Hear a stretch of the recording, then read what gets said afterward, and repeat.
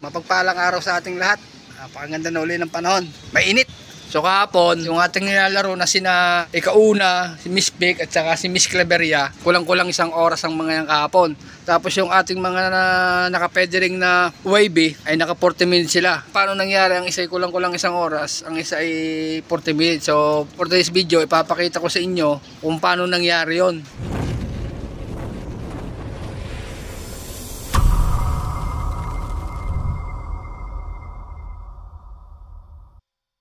Bago natin simulan, paputukain ko muna sila.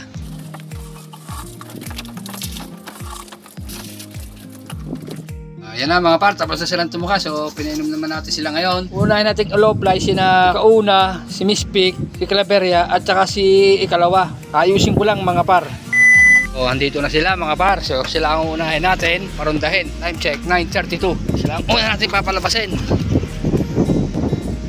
So ganito ang ginawa ko sa kanila kahapon. O, kaya ako inuuna tong mga to kasi sila yung mga nilalaro natin, sila yung may laban. So mga to, magre-ranging ang mga yan. Pagkatapos nilang mag-ranging, babalik sila dito. Pwede na natin isunod na nating alpasan yung ating mga YB na naka-federing. So hindi ko masasabi ngayon kung makakailang minuto sila kasi mahangin. Wala na nating inuna. So ayan mga par, pagbalik ng apat na pinalabas natin ngayong umaga, saka na natin sila iloloply itong mga naka-federing na to. Kung makailang minuto yung inuna nating parondahin, madadagdagan yun kasi gawa ng mga to. So yun ang ibig ko sabihin. Ginagawa ko to, halimbawa eh, gusto ko silang mga 30 minutes, kaya ako sila inuuna. So tayo-tayo lang nating makabalik yung ating play ngayong araw, saka natin sila aalpasan. So matrabaho mga par, pero kahit na matrabaho, effective naman na mapapatagal yung maparonda ang inyong mga nilalaro. Antayin na lang natin silang bumalik dito yung ating apat galing ranging. A few minutes later. Ito na sila mga par, time check tayo ay yan.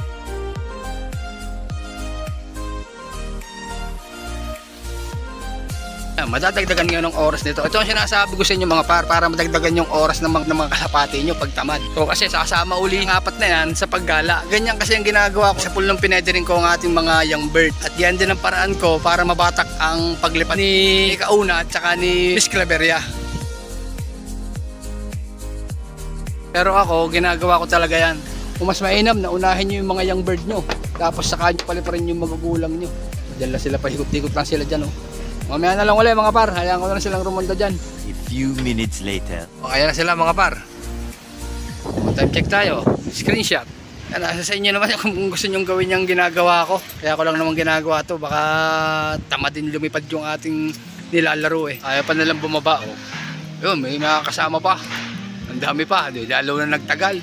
So ayun mga par, may nakasabay sila sa baba muna ako. A few minutes later. So ayan na sila mga par. Time check. Screenshot. Naka 40 minutes na ang ating unang apat. So play post, play post na lang tayo mga par ano. One hour ata itong si... A few minutes later. So ayan sila mga par, umakit tuloy ako. Dito ko na natin sila abangan para nakikita natin. So ayan, kita nyo, sinasa yan ang sinasabi ko. Naka 15 minutes ang ating unang in, pinaloply. Yung apat, tapos yung lima, nakakalating oras na yung ating mga YB. Time check tayo mga par. Ay maka 1 hour kaya mga ito. Bababa na kaya? Ay, sos 2, 4, 6, 8, 9. Konting minuto pa at makaka 1 hour ata ang mga ito. 6 na minuto na lang, naka 1 hour yung ating unang pinaloply. Yung apat.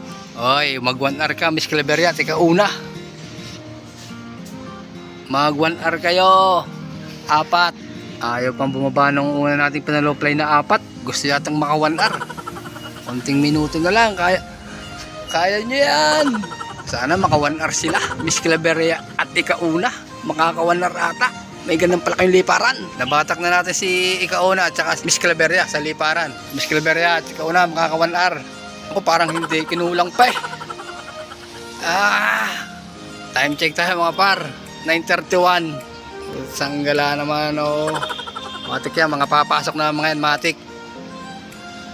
Ah, mayroon tayong mahiwagang tubig dyan eh. Andito kaya si Miss Calveria. Ah, si Kauna nandito siguro.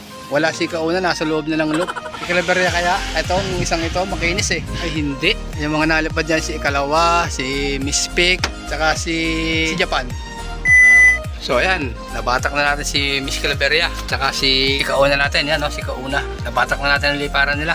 So ayan, ano mga par, ganun lang ang ginagawa ko sa kanila para mabata ko ang aking mga nilalarong are na si Miss Claveria at saka si ikauna natin. Inuuna kong paliparin yung panlaro bago paggaling ranging, saka ko uli aalpasan ng ating mga waving ito. So yung ating waving, nakailang minuto, mga naka kulang-kulang 40 minutes din. Ito yung tatlo natin, naalipad pa.